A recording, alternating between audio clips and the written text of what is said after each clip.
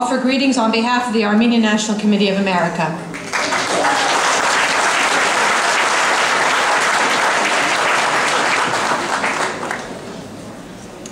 Dennis, this is a tribute to you, the first part. Denial, denial, denial. Whenever and wherever we speak of the Turkish government's campaign of denial, our thoughts naturally turn to the denial of the truth and rewriting of history. This is true, of course, but they represent the beginning, the very beginning, and certainly not the end of the process of denial.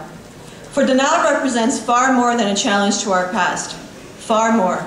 Denial is not simply an affront to our identity, an insult to our martyrs, and an offense against history. No. The price of denial is far greater. We must understand that the stakes are far, far higher.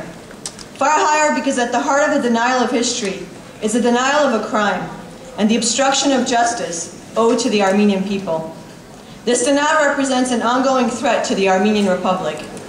The denial represents a challenge to the security, the very future of the Armenian nation. Uh, Armenia cannot today be safe while the Turkish Republic remains on her border as an unrepentant, antagonistic, and overarmed denier state.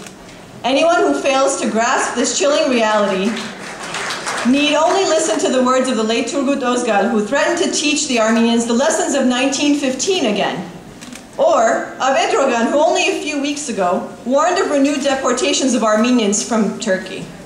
And just as surely as denial represents a direct threat to Armenians today, so too does the denial of justice represent a threat to the future of all Armenians.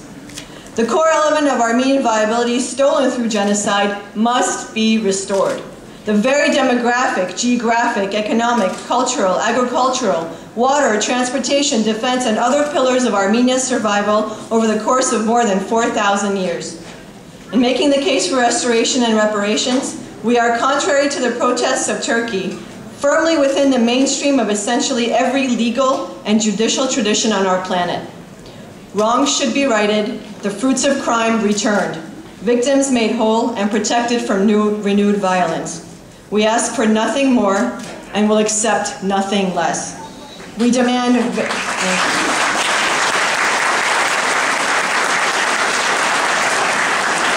We demand very simply for the restoration and reparations that represent the basic requirements of Armenia's viability. And so ending denial in all its forms represents a vital key, an indispensable element of Armenia's future security, of Armenia's very place at the table of nations. So where do we stand today in our struggle against denial? Our progress in this struggle, the Haytad movement, has been marked by our ability to force three major retreats by Turkey over the past several decades. We have, as a nation, overtaken Ankara's first three lines of defense, silence, lies, and threats. We face today its fourth, the protocols. How did we reach this point? First, we overcame Turkey's silence, its first line of defense, a strategy that worked for the better part of the first five decades after the genocide, through the rebirth in 1965 of activism and protests. Next, we overcame Turkey's lies, its second line of defense, by fostering the growth of an academic consensus that has fatally undermined, in any serious setting, Ankara's ability to rewrite the history of the Armenian genocide and the truth of its reality. And then we overcame Turkey's threats, its third line of defense, in part through our own growing political power over the past two decades, but also as a result of Ankara's loss of, the, of leverage over US decision makers due to its increasingly independent policies on Israel, Iran, and the region. As these lines of defense have collapsed, Turkey has fallen back to a fourth line of defense, the protocols. Instead of remaining silent, outright lying, or leveling threats, Ankara is today forced to make the shaky case that an American moral stand along the lines of President Obama's repeated pledges would somehow harm Turkey-Armenia relations.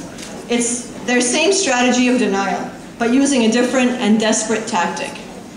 We saw this on full display on March 4th during the consideration of the Armenian Genocide Resolution before the U.S. House Foreign Affairs Committee. The primary argument, particularly by those who moved from support to opposition, was all about the protocols.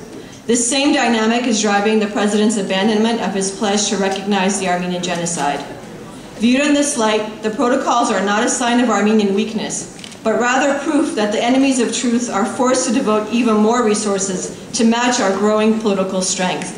They are not a marker of Turkish success, but instead a symbol of their three successive failures to bury the Armenian cause.